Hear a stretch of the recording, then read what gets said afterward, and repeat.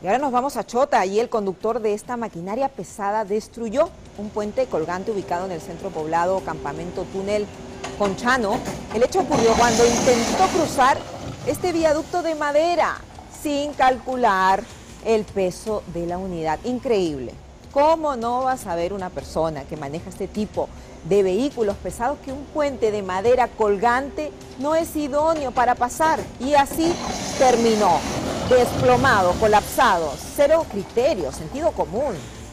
¿Sí o no? Sentido común.